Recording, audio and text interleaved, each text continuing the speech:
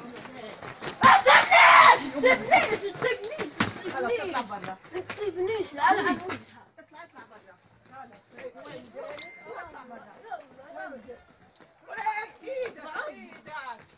معنا إحنا جراف عازمين قلت لك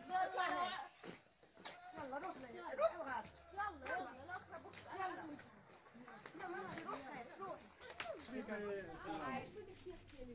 אסור לראיין אותה.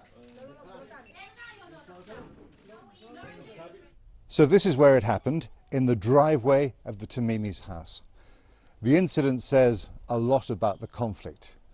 The imbalance of force, the way it's invaded the lives of yet another generation, and the bleakness of a future with no prospect of peace. I'm Bassem Tamimi from uh, Palestine.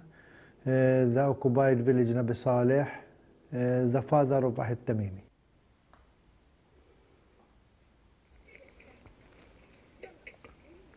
There are lots of people who would say your daughter was trying to provoke these guys. I don't need, know how they, the people, that see the hands slapping the soldier.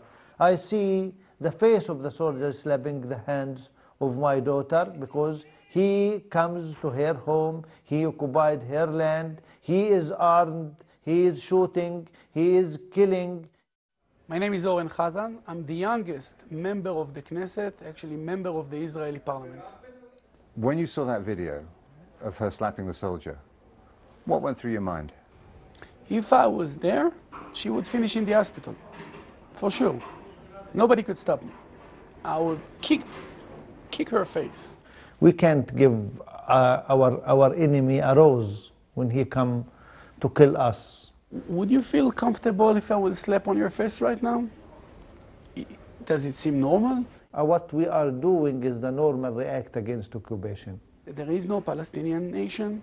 There is no Palas- There will never be Palestinian state, and we didn't conquer nothing. There is no occupation. She can't accept an armed man to come to her field. And this is the occupier law, and we are resisting. If you will act with terror, we have the right to go inside your houses and terminate terror. A slap isn't terrorism. No, a slap is terrorism, believe me. A slap is a terrorism.